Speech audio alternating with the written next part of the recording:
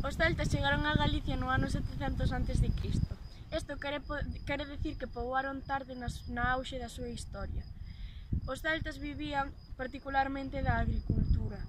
E sábese que foi unha poboación moi desenvolvida por uns rastros que horas os chaman castros. Non se sabe moito sobre a vida cotiá, a organización política ou a religión dos celtas. Pero aínda así, hoxe en día temos, le, le, temos lendas galegas que nos contan máis ou menos como era a súa vida antes.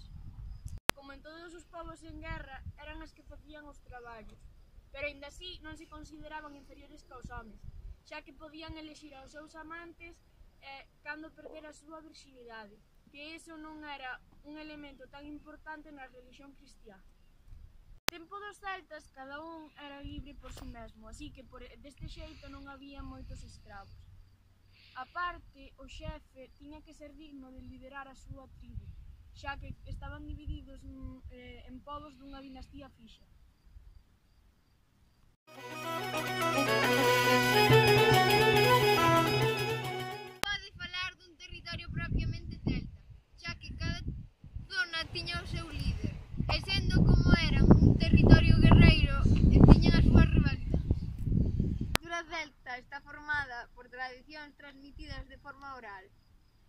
os autores gregos e romanos describen aos celtas como persoaxes turbulentos.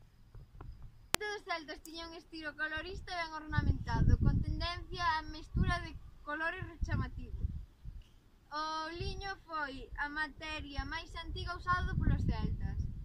Alá foi a materia prima máis usada eh, desde que se comezou a criar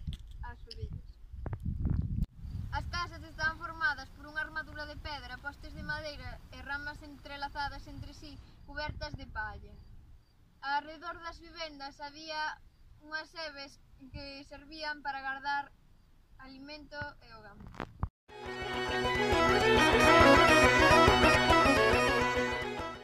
Os celtas non fixeron ningún templo ata a romanización. Os druidas, sacerdotes desta cultura, usaban para o culto árbores centenarios, bosques e covas, etc. O culto basábase na interrupción do xi. O xi era refreio do mundo humano, pero mellorado e moito máis agradable. Entre as plantas eran consideradas sagradas o roble, o toxo, a encina e o abelán, ademais dos árbores que dan e as letras do agam, tamén chamado alfabeto dos bosques.